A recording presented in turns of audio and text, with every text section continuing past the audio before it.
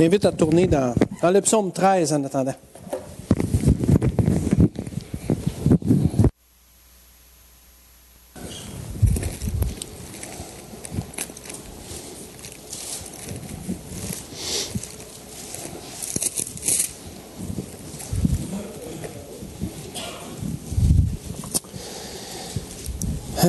Est-ce que, est-ce que vous aimez ça, ressentir la présence de Dieu?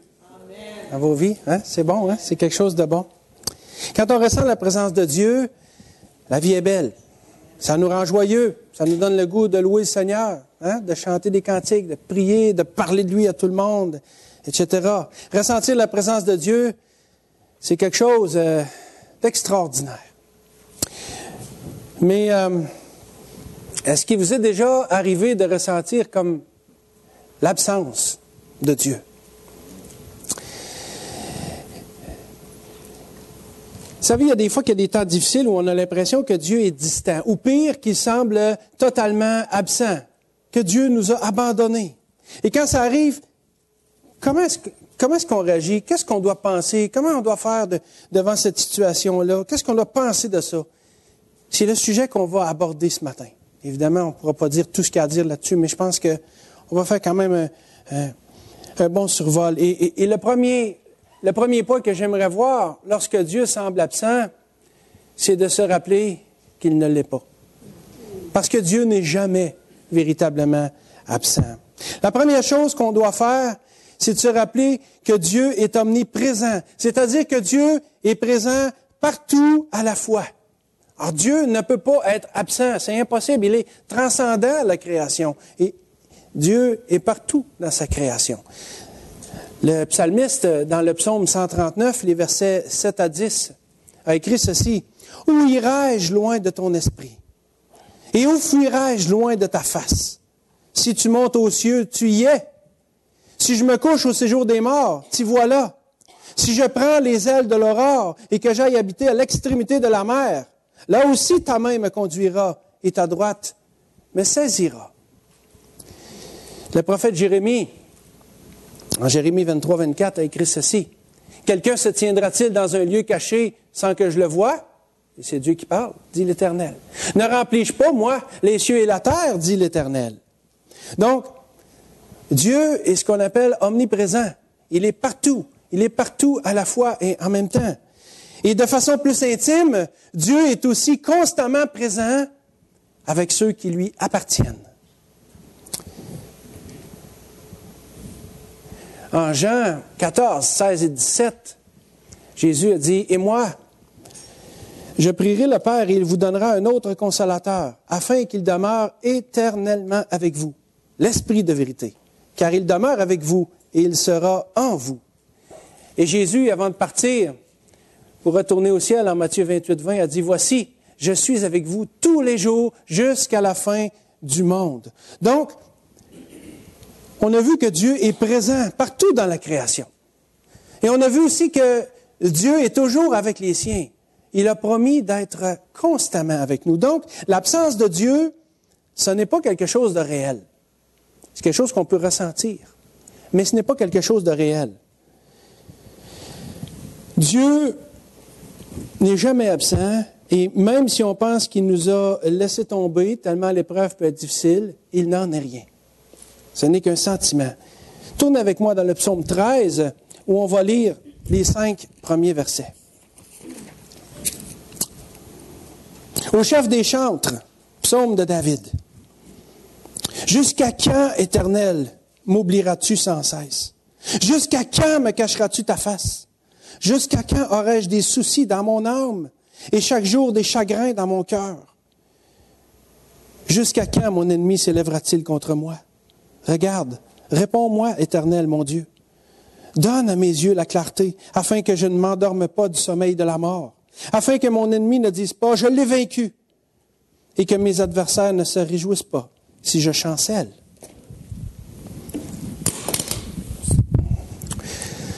Le roi David, celui qui est auteur de ce, psaume, est appelé dans les Écritures un homme selon le cœur de Dieu. Et même David, qui était un homme selon le cœur de Dieu, a eu à un moment donné le sentiment, on vient de le lire, que l'Éternel l'avait abandonné. Alors, si c'est arrivé à quelqu'un comme David, je pense que ce sentiment-là peut arriver à n'importe lequel d'entre nous. C'est quelque chose qu'on peut tous vivre à un moment donné, de sentir comme l'absence de Dieu. Et même le Seigneur a vécu quelque chose comme ça. En, Matthieu 27, 46, il s'est écrié, Mon Dieu, mon Dieu, pourquoi m'as-tu abandonné? Le Père n'avait pas véritablement abandonné le Fils, mais le cri du Seigneur ici était le cri de ce qu'il ressentait à cause de nos péchés. Le Seigneur était à la croix en train de porter nos péchés, en train de subir sur lui le jugement de Dieu, la condamnation que nous méritions. Et ce qu'il vivait était tellement intense qu'il a reçu, qu'il a ressenti comme l'absence de Dieu. Il a dit, mon Dieu, pourquoi m'as-tu abandonné? Donc, il est normal que nous aussi, nous puissions à un moment donné sentir ça. Puis, il ne faut pas se sentir à part des autres, il ne faut pas se sentir coupable c'est un sentiment normal. Il faut apprivoiser ce sentiment-là. Je pense qu'il faut bien le comprendre pour être capable de passer au travers. C'est même, je dirais, nécessaire à notre croissance spirituelle qu'à un moment donné, on ressente à certains moments de notre vie que Dieu semble absent. Parfois, on peut parler peut-être de désert spirituel ou il y a d'autres appellations, mais quand ça arrive, quand ça arrive, souvenons-nous premièrement que Dieu n'est jamais véritablement absent et restons concentrés sur sa présence. Ça, c'est important. C'est la première étape. Lorsque Dieu nous semble absent, restons concentrés sur sa présence, sachant qu'il n'est pas véritablement absent. Le deuxième point, lorsque Dieu nous semble absent, il faut répandre notre cœur devant lui. Il faut lui en parler. Quand Dieu nous semble absent, disons-lui, dites-lui ce que vous éprouvez. Ayons pas peur de dire, Seigneur, je comprends pas qu'est-ce qui se passe, Seigneur, puis j'aimerais tellement que, te sentir, j'aimerais tellement te voir, puis me coller contre ta poitrine, puis contre ton cœur, puis que tu me prennes dans tes bras, etc. Ayons pas peur de dire au Seigneur ce qu'on ressent. Job, vous connaissez l'histoire de Job, euh, c'est ce que Job a fait. Dans un temps qui, je crois, a certainement été le pire moment de toute sa vie, et où Job ne comprenait certainement pas ce qui lui arrivait, il a dit, en Job 7, 11, alors je ne peux plus me taire davantage. J'ai l'esprit en détresse. Il faut donc que je parle. Mon cœur est trop amer. J'exprimerai ma plainte. Et c'est pas péché de faire ça. C'est libérateur. Et puis de toute façon, Dieu le sait ce qu'il y a dans notre cœur, alors ayons pas peur de lui en parler. Ayons pas peur de lui dire ce qu'on éprouve. De quoi qu'on a peur même. Qu'est-ce qu'on craint? Ça fait toujours du bien, vous savez, de parler à quelqu'un qui nous comprend. N'est-ce pas notre réflexe? Quand quelqu'un, quand quelque chose nous arrive, puis qu'on a de la peine ou qu'on a de la colère ou quoi que ce soit, est-ce qu'on n'est pas porté à aller voir quelqu'un ou appeler quelqu'un pour lui dire, écoute, là, je vis ceci, je vis ça. Mais pourquoi est-ce qu'on ne le ferait pas avec Dieu? Ça fait partie de la relation intime qu'on doit avoir avec le Seigneur. Puis le Seigneur, savez-vous quoi? Il comprend ce qu'on vit. Il comprend ce qu'on vit. L'auteur de l'Épître aux Hébreux nous dit, en Hébreux 4, les versets 15 et 16, Car nous n'avons pas un souverain sacrificateur qui ne puisse compatir à nos faiblesses. Au contraire, il a été tenté comme nous en toutes choses, sans commettre de péché. Approchons-nous donc avec assurance du trône de la grâce, afin d'obtenir miséricorde et de trouver grâce pour être secouru dans nos besoins. Voyez-vous, le Seigneur a souffert aussi quand il est venu sur la terre. Il a répandu son cœur devant Dieu le Père. Et pourtant, ce verset-là nous dit qu'il n'a pas commis de péché.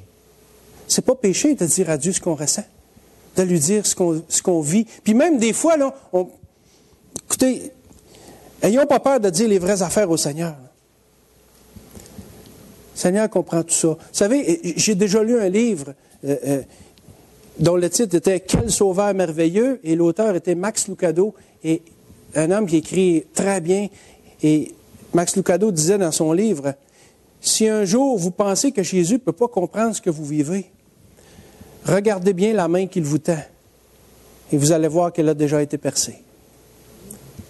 Le Seigneur comprend ce qu'on vit.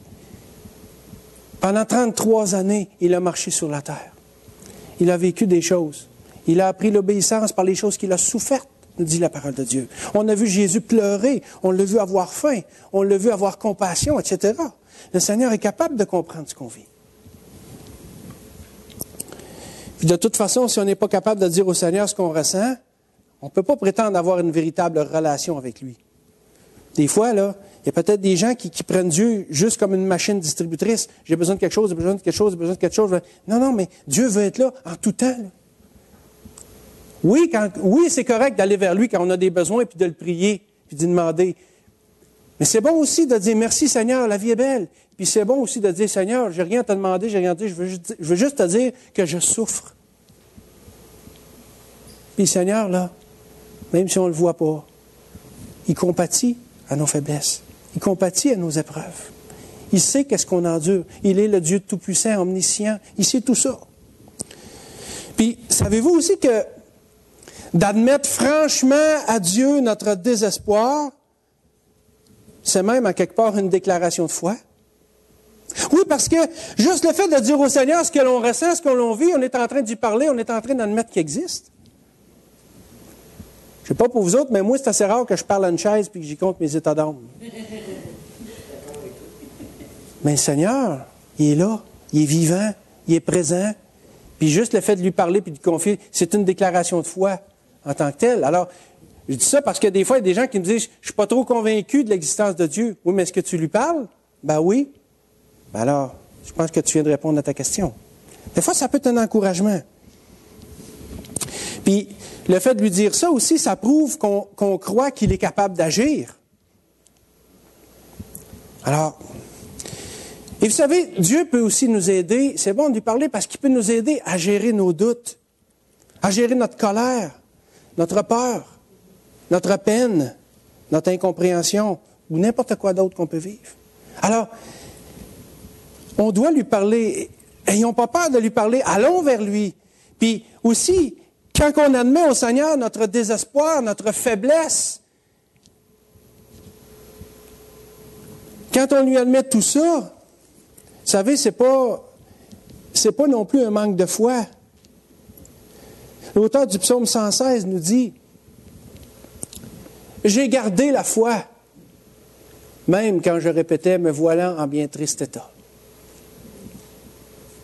Tu sais, des fois, on peut penser, oui, mais là, est-ce que c'est un manque de foi de ma part d'aller dire à Dieu? Est-ce que j'ai l'impression que je suis en train de dire à Dieu qu'il n'agit pas dans ma vie, qu'il n'est pas capable d'agir? Non, ça n'a rien à voir. Des fois, lorsqu'on pense dans notre tête, nos sentiments, dans notre cœur, puis tout ça, peuvent se mélanger. C'est pas un manque de foi d'aller voir, d'aller vers le Seigneur puis de dire ce qu'on ressent. Au contraire. C'est une déclaration de foi. Puis, faisons-le. J'ai gardé la foi, même quand je répétais, me voilà en bien triste état. Alors, sentons-nous pas mal ou coupables de dire au Seigneur ce qu'on ressent. Le psalmiste ici nous montre que de répandre son cœur devant Seigneur ne l'avait pas empêché de croire en la souveraineté de Dieu. Au contraire, il s'y accrochait. J'ai gardé la foi, même quand je répétais, me voilà en bien triste état. Donc, il s'accrochait à la souveraineté de Dieu. Sa foi était dans là. Il y avait de l'incompréhension dans ce qui se passait dans sa vie, mais il savait que Dieu pouvait agir. J'ai gardé la foi, même quand je répétais, me voilà en bien triste état. Donc, de répandre son cœur devant Dieu, ce n'est ni un péché, ni un manque de foi, si on reste convaincu que Dieu est souverain. Puis ça, ça fait du bien. De s'accrocher à quelque chose de réel, à quelqu'un de vivant, de véritable, à quelqu'un qui peut nous comprendre. Et le Seigneur est cette personne-là. Le Seigneur peut nous comprendre. Donc, lorsque Dieu nous semble absent, rappelons-nous qu'il ne l'est pas. Répandons notre cœur devant lui. Et le troisième point, faisons-lui confiance, malgré tout. Le Seigneur ne nous laisse pas tomber, mais parfois, on peut avoir l'impression que c'est le cas. Et vous savez, Dieu décide de nous cacher sa face euh, pour toutes sortes de raisons. Et des fois, il le fait pour un temps, parce qu'il veut nous mettre à l'épreuve. Ou parce qu'il veut nous amener à un niveau de spiritualité plus profond. Ou pour un paquet d'autres raisons qu'on comprend peut-être pas. Dieu n'est pas obligé de nous expliquer tout sur tout, vous savez. Des fois, il va nous donner l'explication, mais des fois, non. Puis c'est correct, ce qu'il fait est toujours parfait. Sachons à nous accrocher à la souveraineté de Dieu, même si on ne comprend pas. Et apprenons à lui, à lui faire confiance malgré tout. Et ça, c'est quelque chose de difficile. C'est quelque chose de difficile. Parce que même si on sait que le Seigneur est là, on ne le voit quand même pas physiquement de nos yeux. Et faire confiance pleinement à quelqu'un qu'on ne voit pas, ça nous amène à quelque chose qui n'est pas normal. Et c'est là que notre foi entre en jeu. C'est ça la foi. Est-ce que je suis capable de faire confiance à Dieu malgré tout, même si je ne le vois pas, même si je ne ressens pas sa présence? Je pense que c'est important. Lorsque Dieu semble absent, apprenons à lui faire confiance malgré tout. Il a des raisons pour ça. Et vous savez, faire confiance à Dieu malgré tout, c'est une forme d'adoration. J'aime bien ce qu'a écrit euh, Rick Warren. Rick Warren est un, pasteur américain bien connu et un auteur euh, prospère aussi qui a écrit beaucoup de livres. Et euh, dans un de ses livres, il cite ceci. Quand vous avez l'impression que Dieu vous a abandonné et que vous continuez néanmoins à lui faire confiance, vous l'adorez au niveau le plus haut. N'est-ce pas vrai? Hein? Moi, ça me touche cette parole-là. C'est de l'adoration. Seigneur, je ne comprends pas ce qui m'arrive. Je ne sens pas ta présence. Il me semble que je suis tout seul. Mais Seigneur, malgré tout, je te fais assez confiance pour m'abandonner à toi, pour t'adorer. N'est-ce pas là, hein? N'est-ce pas là une grande marque d'adoration? Je suis bien d'accord avec Rick Warren là-dessus. Vous savez, nos épreuves ne changent pas, n'altèrent pas. nos épreuves ne changent pas le caractère de Dieu, ni sa souveraineté, ni son amour pour nous, ni sa présence à nos côtés. Et ça, même si on ne le sent pas. Alors, restons confiants, quoi qu'il arrive. Parce que Dieu sera toujours plus grand que quoi? Que le plus grand de nos problèmes. Vous savez, j'ai souvent dit cette phrase-là et je me la répète souvent aussi depuis quelque temps. Puis ça me fait du bien de me rappeler ça. Parce que même si c'est une phrase que, j'ai apprise par cœur, que je répète souvent, des fois j'ai l'impression qu'elle s'efface. Alors c'est bon que je me la répète. Seigneur, je sens peut-être pas ta présence, je suis beaucoup ébranlé, j'ai beaucoup d'épreuves, j'ai beaucoup de... Mais écoute, plutôt que de me révolter, plutôt que de me fâcher contre toi, plutôt que de baisser les bras, Seigneur, je vais tomber sur mes genoux, puis je vais te dire merci pour l'épreuve. Merci, Seigneur. Ça, c'est de l'adoration. Puis des fois, ça peut se manifester juste en pleurant aussi. Le Seigneur lit dans notre cœur. Même si on n'est pas capable verbalement de mettre des mots sur ce que l'on ressent, Dieu voit tout ça. Dieu voit tout ça.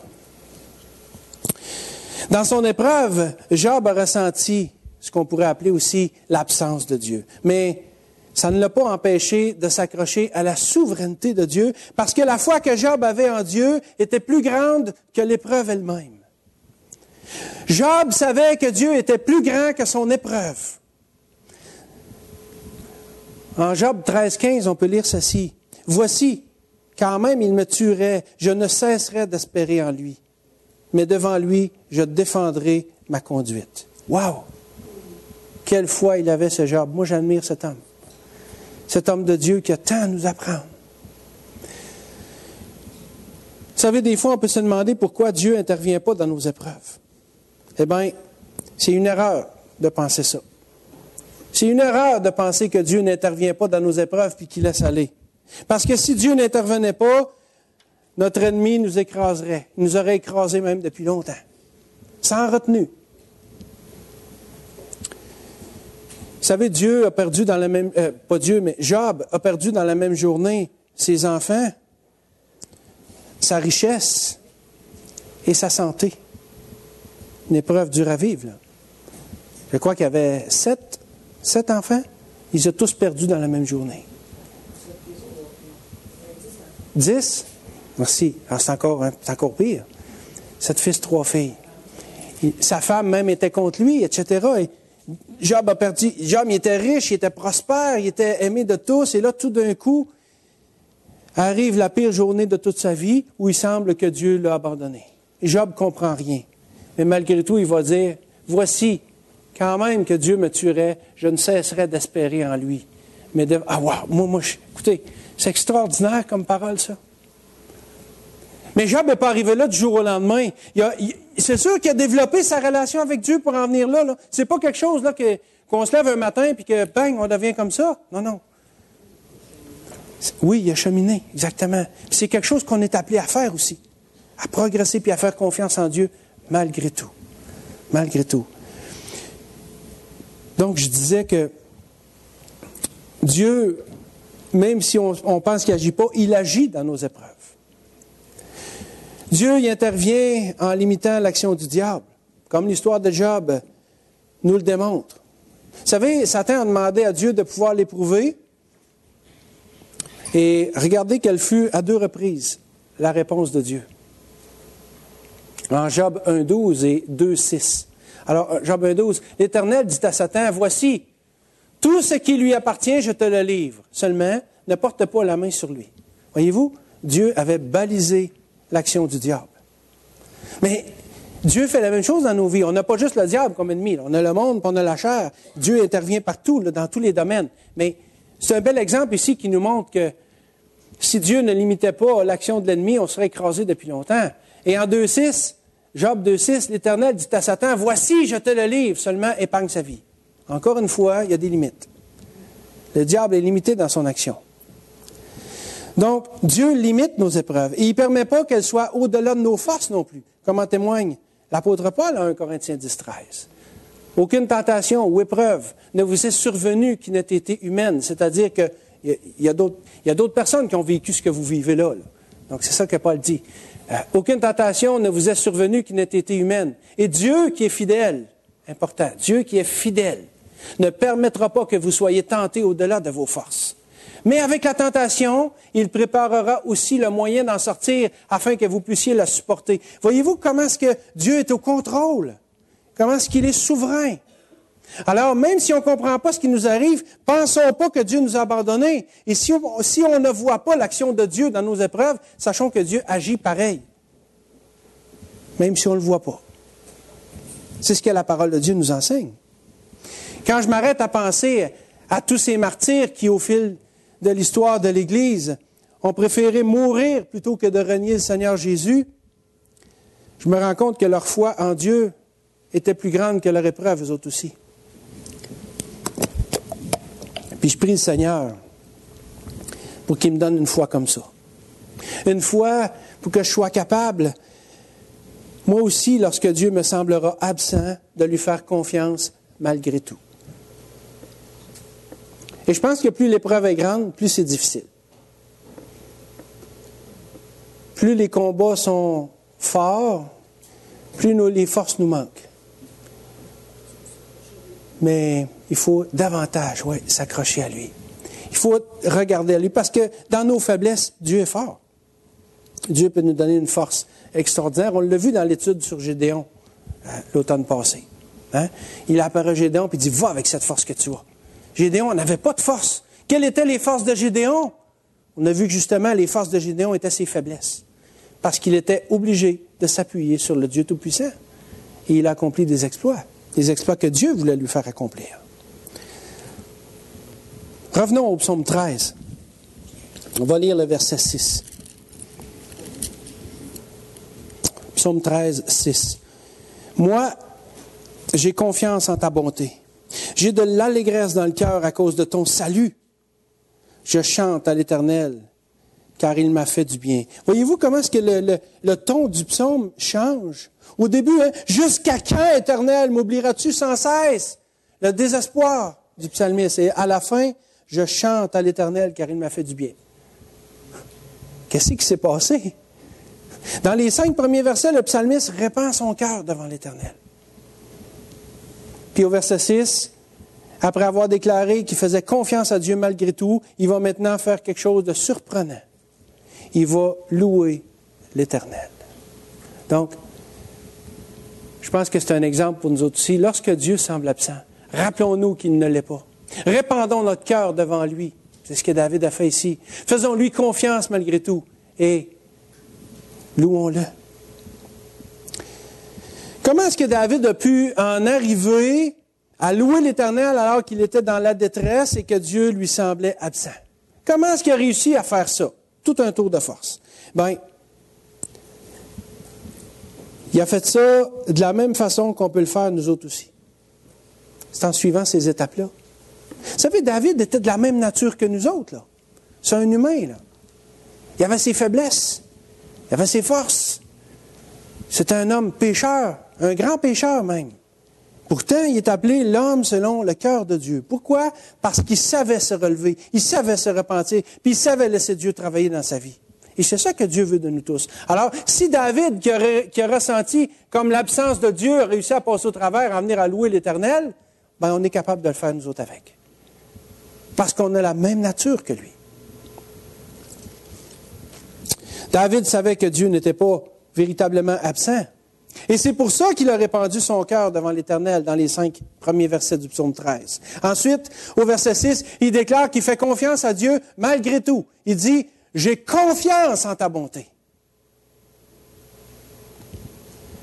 Et cette confiance-là devient sa joie parce qu'il sait que Dieu va le délivrer. Ainsi, il écrit, J'ai de l'allégresse dans le cœur à cause de ton salut. Le salut ici égale à délivrance. Donc, la foi que David avait en son Dieu était plus grande que son épreuve. Et c'est ça qui a fait qu'il a réussi à prendre le dessus, puis qu'il en est venu, malgré tout, à chanter à l'Éternel, à louer son Dieu. C'est quand même extraordinaire. Puis des fois, on pense que c'est quelque chose qui est inaccessible, ça. Ah oui, mais là, David, c'est quand même... Non, non, non. David était de la même nature que nous autres. Puis David n'est pas le seul, là. Au travers de l'histoire de l'Église, si, si vous lisez des biographies d'hommes et de femmes de Dieu qui ont fait des, qui, sont peut-être un, peu plus connus, vous allez voir que leur confiance en Dieu a fait de la différence dans leur vie. Ça amoindrit pas l'épreuve, ça la rend supportable de savoir que Dieu est toujours plus grand que le plus grand de nos problèmes. Et ça, ça peut nous amener à louer l'Éternel. Et finalement, la détresse que David exprimait au début du psaume, ça change en joie justement parce qu'il a fait confiance à Dieu en se souvenant ce que Dieu avait fait pour lui dans le passé puis cette joie se transforme en louange. Il termine en disant, je chante à l'Éternel parce qu'il m'a fait du mal? Non. Parce qu'il m'a fait du bien. À quoi est-ce qu'il fait, référence ici? Il fait référence aux victoires de sa vie passée. Parce qu'il m'a fait du bien. C'est pas nécessairement là, mais on connaît l'histoire de David, là. Hein? comment est-ce que, Dieu l'a délivré devant le lion, devant l'ours, et devant Goliath, etc., et, devant Saül, et un paquet d'affaires? Comment est-ce que Dieu l'a, a veillé sur lui pendant les années où il fuyait devant Saül au désert? Ben, même une fois, quand, ses hommes ont voulu euh, le tuer parce qu'il était parti à la, pendant une bataille et les ennemis sont venus enlever les femmes et les enfants et tout ça, euh, devant la révolte d'Absalom, son fils qu'on a vu la semaine passée, David a vu Dieu travailler dans sa vie. Et David sait que le Dieu qui a travaillé dans sa vie dans le passé est encore capable de travailler dans le présent et dans l'avenir pour lui. Alors il est capable de dire, je chante à l'Éternel car il m'a fait du bien. Et c'est à ça que Dieu se raccroche, euh, que David se raccroche, pardon. Quand on se sent abandonné par Dieu et qu'on continue à lui faire confiance malgré tout, on lui manifeste la plus grande des adorations. Adorer Dieu quand il nous bénit abondamment, c'est donc facile. Mais sommes-nous capables d'adorer Dieu quand il nous semble absent? Si on lui fait confiance malgré tout, ça devient de l'adoration. Et ça, Dieu aime ça. Et ça nous fait grandir dans notre foi. Cette adoration-là va nous amener à louer l'Éternel, comme David l'a fait ici. Alors lorsque Dieu nous semblera absent ou distant, rappelons-nous qu'il ne l'est pas, même si on ne le sent pas. Disons-lui ce qu'on a sur le cœur. Restons attachés à lui, coûte que coûte, et louons-le pour tout le bien qu'il nous a déjà fait. Et vous savez, même si on perd toute raison de le louer, là, aujourd'hui, on dit, Seigneur, j'ai tout perdu, là. J'ai perdu ma famille, j'ai perdu ma santé, j'ai perdu mes biens, il, ne me reste plus rien. Un peu comme Job mais il reste encore beaucoup. Il reste encore le salut que Dieu nous a accordé. puisque le salut que Dieu nous a accordé est la plus grande délivrance qu'il pourra jamais nous accorder. Ça va avoir des répercussions éternelles. Alors même si on ne trouve pas de raison pour louer et adorer notre Dieu, faisons-le pour le salut qu'il nous a accordé. C'est une raison suffisante. Et c'est d'ailleurs, si on devait en choisir qu'une seule, c'est celle-là qu'on devrait faire. Même si vous avez l'impression que Dieu n'a jamais rien fait de particulier pour vous, le Seigneur mériterait, et je dis vous, mais c'est nous, le Seigneur mériterait toute notre louange et notre adoration pour le reste de notre vie à cause de ce qu'il a fait pour nous. Le Fils de Dieu est mort et est ressuscité pour nous donner la vie éternelle. Et ça, c'est la plus grande de toutes les raisons de l'adorer. Vous êtes d'accord avec moi, là? Vous savez, euh, le beau petit Jésus qu'on voit parfois sur des crucifix, dans certaines églises ou à certains endroits, ça ne représente absolument pas la réalité, ça. Ce Jésus-là, on le voit là, il a les yeux tristes puis un petit bobo sur le côté. Mais ça n'a rien à voir avec la réalité. Le Seigneur a été malmené pour mal plus que ça. La parole de Dieu nous dit qu'il a été défiguré. On voit comment ce qui a été euh, fouetté et tout ça. Il devait, ça devait être un spectacle absolument horrible, ça. Là. Les Écritures nous disent que Jésus a été donné en spectacle presque nu. On a tiré au sort sa tunique. Il a été battu jusqu'à être méconnaissable. Les gens lui mettaient un... Ésaïe nous dit ça, hein? ils ont mis quelque chose sur sa tête, puis ils ont dit, devine qui t'a frappé. Il a été fouetté avec des fouets qui arrachaient la peau. Il y avait des morceaux dans, les lanières battues de verge. C'est ça que ça veut dire. Il y avait des fouets avec des, lanières de, cuir dans lesquelles on insérait des morceaux d'os ou de métal. Et quand on fouettait le Seigneur, ça rentrait, puis quand on tirait, la peau arrachait. Ça n'a rien à voir avec euh, le petit bonhomme en plastique qu'on voit là. On lui a mis sur la tête aussi une couronne d'épines transperçait sa chair jusqu'au crâne. Imaginez, là. On déposait ça, là, puis sentait les pics rentrer dans la tête, là. Puis là, le sang qui coule partout, là. Il était à bout de force, ensanglanté. On l'a même obligé à porter sa croix. On dirait, c'est inhumain, ça. Il avait été fouetté, il avait été battu. On le, force à porter sa croix. Et sa croix, vous savez, c'était pas euh, des beaux deux par quatre planés, comme on a aujourd'hui. C'était du bois rough. Imaginez le bois rough, les échardes qui rentrent dans la chair de vos plaies sur lesquelles vous venez d'être fouettés. On a un petit bobo, là, puis on a de la misère à porter un gilet parce que, oh, ça fait mal. Essayons de nous imaginer un instant toutes les souffrances que le Seigneur a, a subies. Les gens s'amusaient à le frapper, à l'insulter, à lui cracher au visage, à lui porter tout le mépris du monde. Crucifie, crucifie-le! Finalement, on lui a passé les mains et les pieds avec des clous pour qu'il tienne en place. Et tout ça était fait pour le donner en spectacle, parce que c'était le but de la crucifixion. Hein. Tous les criminels qui ont été étaient là, c'était une forme d'humiliation, de souffrance aussi, mais d'humiliation. Ils étaient donnés en spectacle au plaisir infâme d'une foule qui était là et qui jubilait de joie et de rage. Et comme si ce n'était pas suffisant, le Seigneur a dû vivre ça tout seul, sans le soutien et le réconfort de ses amis parce que ceux-ci s'étaient sauvés. remarquez bien que je ne les blâme pas, probablement que je me serais sauvé aussi, devant ce spectacle horrible. Et pour ajouter à son angoisse, comme si ce n'était pas déjà assez, lorsque Jésus a pris sur lui les péchés de l'humanité, le Père a détourné les yeux de cet affreux spectacle en sorte que le Seigneur a ressenti un désespoir tellement grand qu'il a crié, Mon Dieu, mon Dieu, pourquoi m'as-tu abandonné?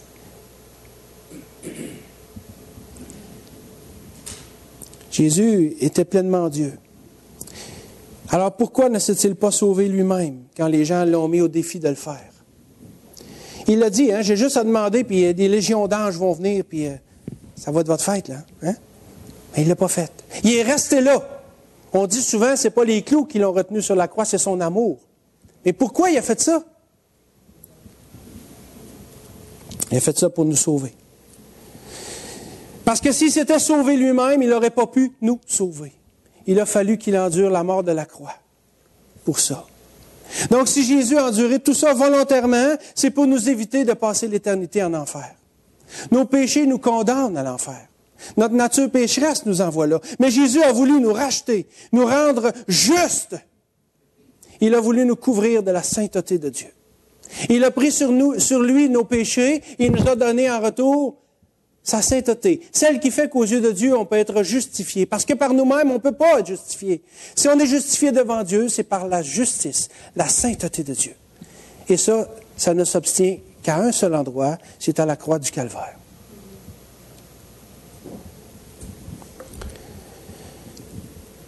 Jésus a subi la condamnation que nous méritions pour que nous soyons sauvés. C'est pour ça qu'il nous a rachetés.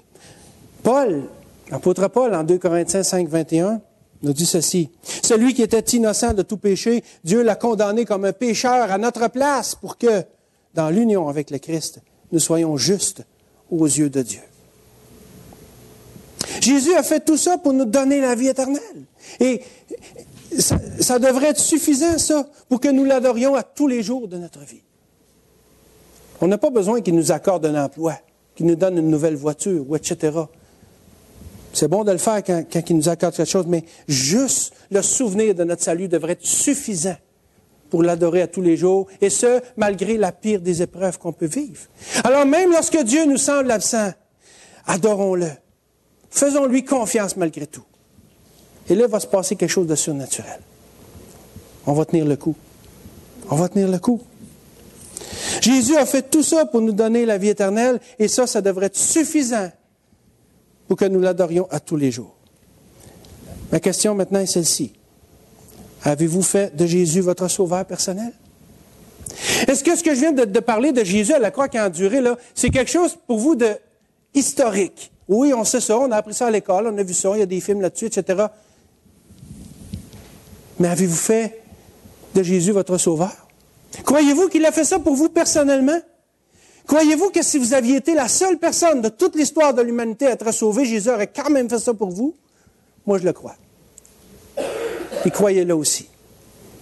Le Seigneur est resté là sur la croix. Il n'a pas écouté ceux qui disaient descends de là parce qu'il a accompli jusqu'au bout le salut que Dieu nous accorde. Mais ce salut, Dieu vous l'offre, mais ça vient pas automatique. Si vous ne le saisissez pas, si vous ne vous l'appropriez pas personnellement, avec repentance et foi dans le Fils de Dieu, vous l'obtiendrez pas. C'est pas une religion qui sauve. C'est pas parce que nos parents sont chrétiens qu'on est sauvés. C'est pas même que ça marche. C'est un choix personnel que nous avons à faire. Et ce choix, Jésus le met devant vous aujourd'hui. Peu importe ce que vous vivez, peu importe ce que vous pensez, vous devez croire que Jésus est mort sur la croix pour vous sauver. Vous devez croire que ce qu'il a enduré, c'est pour vous personnellement, parce qu'il a subi à votre place la condamnation, le jugement de Dieu à cause de vos péchés. Et on n'a pas besoin d'être un tueur en série pour ça. La meilleure personne d'entre nous a besoin du salut de Dieu. La même chose. Et c'est pour ça que Jésus l'offre à tout le monde sans exception. Mais l'avez-vous fait? Avez-vous fait de Jésus votre sauveur personnel? Vous devez le faire. Vous devez passer par la nouvelle naissance. Vous devez dire à Dieu de tout votre cœur, de toute votre âme, de toute votre force, Seigneur, je suis un pécheur. Je crois ça. Je sais maintenant que tu es mort pour moi la croix et je me repens. Je te demande pardon de mes péchés de ma vie et je me donne à toi. Je te donne mes péchés. En retour, couvre-moi de ta sainteté. Vous pouvez dire ça dans vos mots, là. C'est pas, pas la prière qui sauve, c'est la foi en Jésus qui sauve. Mais Dieu vous invite à le faire ce matin. Si vous ne l'avez pas fait, faites de Jésus votre sauveur. Aujourd'hui. Attendez pas, demain il va peut-être être trop tard. Demain il va peut-être être trop tard. J'ai, j'ai vu, il y a quelques mois, je suis allé rencontrer une dame euh, qui m'avait téléphoné. Elle a dit, euh, Écoute, viens me voir, euh, j'aimerais ça parler avec toi. Je la connaissais pas. Je suis allé là, elle et son mari étaient des non-voyants, aveugles tous les deux. J'entre là, puis je commence à parler avec eux autres. Ils me demandent de leur parler de Dieu, de leur parler de l'Évangile de Jésus, tout ça. Alors je leur, annonce le salut, on passe un moment ensemble. Et je leur dis ce que je viens de vous dire. Si vous mourrez dans vos péchés, vous n'irez pas au ciel. Acceptez Jésus-Christ comme votre sauveur personnel. Quatre jours après, la dame me rappelle. Elle dit, mon mari est décédé. Je ne sais pas si son mari est mort dans ses péchés ou non, mais je sais qu'il a entendu le salut. Dieu m'a envoyé pour lui dire ce matin-là. Mais il ne s'attendait pas à mourir quatre jours plus tard. Dieu vous parle ce matin. Dieu met un choix devant vous ce matin, qui est celui de la vie éternelle. Il dit, comme il dit dans le Deutéronome, je mets devant vous la vie et la mort. Choisis la vie afin que tu vives. Savez-vous ce que vous allez être ce soir? Savez-vous si une crise cardiaque vous emportera pas ou un accident d'auto ou peu importe? Attendez pas. Attendez pas plus tard. Repoussez pas plus tard le salut que Dieu vous offre. Vous en avez besoin et si vous le repoussez, peut-être qu'il va être trop tard. Je pense à cet homme dans la parole de Dieu qui a dit, ah, j'ai des grands biens, je vais abattre mes greniers, je vais en construire des plus grands, mon âme est, mon âme est rassasiée pour le reste de ses jours. Et Jésus dit, insensé, cette nuit même ton âme te sera redemandée. Qui d'entre nous peut dire qu'il va être encore là ce soir? Personne. Par contre, chacun d'entre nous pouvons dire ce matin, je suis un enfant de Dieu racheté par grâce. Jésus vous offre son salut. Allez-vous l'accepter? Allez à lui en toute simplicité. Acceptez-le. Jésus a enduré à la croix tout ça parce qu'il veut vous sauver. Et si vous le refusez ou si vous ne faites rien, vous ne serez pas sauvé. Ne laissez pas passer le salut qui s'offre à vous aujourd'hui. Donc, lorsque Dieu semble absent, Rappelons-nous qu'il ne l'est pas. Répandons notre cœur devant lui. Faisons-lui confiance malgré tout et louons-le pour son salut. Pour n'importe quelle raison, mais surtout pour son salut. Et le cinquième point, ressentir la présence de Dieu. Mon cinquième et dernier point n'est pas la suite des quatre autres. C'est en fait une précision que j'aimerais apporter concernant le fait de ressentir la présence de Dieu. Il y a une erreur très courante dans le monde chrétien aujourd'hui, c'est qu'il y a beaucoup de gens qui recherchent une expérience avec Dieu plutôt que de rechercher Dieu lui-même. Ça fait penser à toutes ces foules qui suivaient le Seigneur. le Seigneur leur a dit, vous ne me suivez pas pour moi, vous suivez parce que je vous donne à manger, puis parce que je fais des miracles et des guérisons. Il y a encore des gens comme ça aujourd'hui, qui recherchent Dieu, pas pour lui-même, mais pour les expériences qu'ils peuvent lui apporter. Qu'il peut leur apporter plutôt. Rechercher une sensation ou une manifestation, ce n'est pas de conclure ça d'avoir ressenti la présence de Dieu. C'est pas ça. Comme si Dieu était nécessairement rattaché à ces choses-là. Écoutez bien, Dieu peut le faire. Là. Puis si Dieu se manifeste à vous d'une façon comme ça, ben, gloire à Dieu, c'est entre lui puis vous que ça se passe. Ce que je suis en train de dire, c'est que c'est pas ça qu'il faut rechercher parce qu'on passe à côté de l'essentiel. Ça, c'est du plus que Dieu peut vous donner. Mais recherchez pas ça, premièrement, vous recherchez pas la bonne chose. Vous savez, je veux pas limiter Dieu. Puis je sais qu'il y a des gens qui ont certaines expériences charismatiques, etc. C'est correct. Mais je crois qu'il y a une chose, je crois fermement en une chose, c'est que si c'est ça qu'on recherche plutôt que, la, plutôt que Dieu lui-même, on fait fausse route. Et je crois que même parfois le Seigneur nous prive peut-être de sensations justement parce qu'il ne veut pas qu'on dépende de ça. Alors, il ne veut pas que ce genre de choses-là devienne une béquille sur laquelle on va s'appuyer pour définir ce qu'est la présence de Dieu. Vous savez, si je suis habitué de voir toutes sortes de manifestations, puis dire, oh oui, Dieu est là, Dieu est là, Dieu est là. Mais à un moment donné, il se passe un temps, il n'y en a plus de manifestation, oh, Dieu est plus là. Voyez-vous ce que je veux dire? Ça n'empêche pas la présence de Dieu. Faisons pas de ces choses-là une béquille qui vont faire qu'on va définir la présence de Dieu. Et je le répète, je ne nie pas ces choses-là. Je dis qu'il ne faut pas rechercher ces choses-là. Si Dieu va vous en donner, il le fera. Mais passons pas à côté de l'essentiel. Vous savez, l'omniprésence de Dieu, le fait qu'il est toujours là, n'est pas limité à la manifestation de sa présence. Dieu est là même s'il ne se manifeste pas, parce qu'il est omniprésent. Donc, Dieu est toujours présent, qu'on le sente ou non. Alors, essayons pas de mesurer sa présence par des émotions, des manifestations, des feelings, parce qu'on va faire fausse route. Dieu veut qu'on sache qu'il est là en tout temps, avec ou sans manifestation. C'est la foi qui plaît à Dieu, vous savez, c'est pas les sentiments. Le sentiment nous amène à louer le Seigneur, à l'adorer quand ça va bien. Mais la foi véritable, elle, va nous amener à louer le Seigneur et à l'adorer même quand ça va mal, même lorsque Dieu nous semble absent. Ça, c'est la vraie foi. Comme le psalmiste qu'on a vu tout à l'heure. Regardez Job. Hein? Je reviens à Job. C'est un très bon exemple. Il a tout perdu dans la même journée. Il a été extrêmement découragé et pendant 37 chapitres, on voit son découragement et on voit que Dieu ne lui dit rien. Il y a juste ces espèces de faux amis qui devraient être là pour l'encourager, qui essayent de, de, lui faire des remontrances, puis lui dire toutes sortes de, de trucs qui l'ont blessé. Dans la position de Job, vous savez, il y a beaucoup de gens qui auraient certainement agi comme sa femme lui conseillait de le faire. En Job 2.9, on peut lire, sa femme lui dit, tu demeures ferme dans ton intégrité. Maudit Dieu et meurt.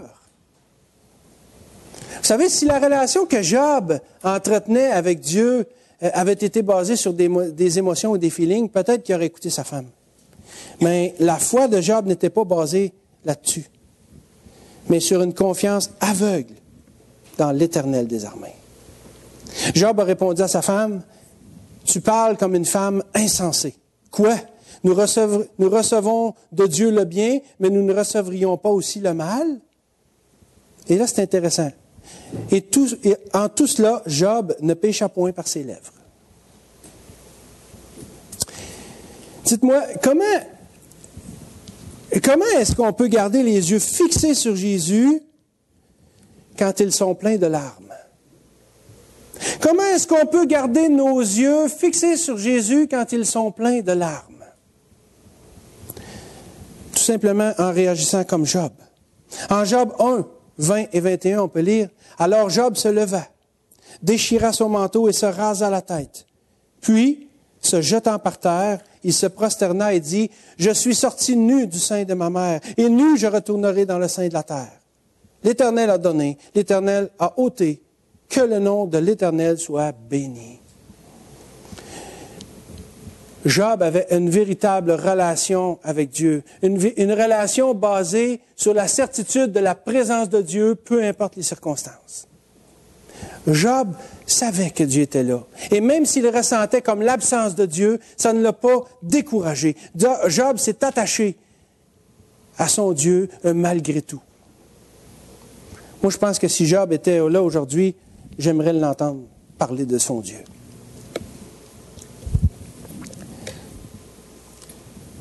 C'est particulièrement dans les temps difficiles qu'on doit être conscient de ça. Qu'on doit être conscient que même si Dieu semble absent, il ne l'est pas. Parce qu'il est là, il veille sur nous, en toutes circonstances, qu'on le ressente ou non. Oublions pas que Dieu n'a jamais promis, tu sentiras toujours ma présence. J'enverrai toujours des manifestations de ma présence. Dieu n'a jamais promis ça. Au contraire, à plusieurs endroits dans les Écritures, Dieu admet qu'il nous cache parfois sa face. Ésaïe 45, Ésaïe 8, Ésaïe 59, Lamentation 3, etc. Je pourrais vous en donner. En fait, ce que Dieu a promis, c'est d'être toujours avec nous. Et ce, qu'on le voit ou non, qu'on le sente ou non, qu'on le pense ou non, ça change rien. Dieu, il est là, il est avec nous, et ça, faut jamais l'oublier. Lorsqu'on ressent comme l'absence de Dieu, soyons certains que ce, que ce n'est qu'un un sentiment. Dieu n'est pas absent. Il est là, il est bien réel, il veille sur nous, il nous aime pas moins, il prend pas moins soin de nous. On peut pas comprendre qu'est-ce qui se passe ou qu'est-ce qui se passe pas, mais une chose qu'on peut savoir, c'est que Dieu ne change pas, qu'il est souverain, qu'il nous aime, puis ça, ça changera pas. Vous savez, apprenons à, confiance à faire confiance à Dieu dans la pire des épreuves. Attendons patiemment sa délivrance et sa consolation, comme l'a fait aussi le prophète Ésaïe. Et je termine avec ce verset-là. En Ésaïe 8, 17, c'est la version français courant, on peut lire ceci. J'attends le Seigneur. Pour l'instant, il se détourne des descendants de Jacob, mais je compte patiemment sur lui. Et je vais le relire, mais au lieu de les descendants de Jacob, mettons notre nom dedans. J'attends le Seigneur. Pour l'instant, il se détourne de moi, mais je compte patiemment sur lui. Lorsque Dieu nous semble absent, attendons patiemment son secours et sa délivrance, et soyons conscients qu'il n'est jamais absent. Prions. Seigneur Jésus, Seigneur grand Dieu, merci pour euh, ta présence avec nous. Ta présence avec nous à tous les jours fait toute la différence. Seigneur, dans l'épreuve, sans toi, je ne sais pas comment je, réagirais. Souvent, je ferais des niaiseries, ou je me découragerais, ou un paquet d'affaires. Mais Seigneur, je sais que tu es là. Puis même si je n'agis pas toujours bien malgré ça, au moins, j'ai un point de repère. Je sais que tu es là. Puis Seigneur, je te demande cette sagesse. Dans l'épître de Jacques, tu nous dis de demander la sagesse qui vient de Dieu et tu vas nous la donner. Et cette sagesse-là a rapport avec l'épreuve. Alors Seigneur, je te prie dans l'épreuve de nous rappeler Jacques 1.5 et de nous amener à te demander la sagesse d'agir. La sagesse aussi de dépendre de toi et d'attendre patiemment ton secours. Et rappelle-nous que lorsque tu nous sembles absent, tu es là, réellement à nos côtés. Et fortifie-nous par cette pensée, Seigneur. Bénis ta parole à nos cœurs. Amen.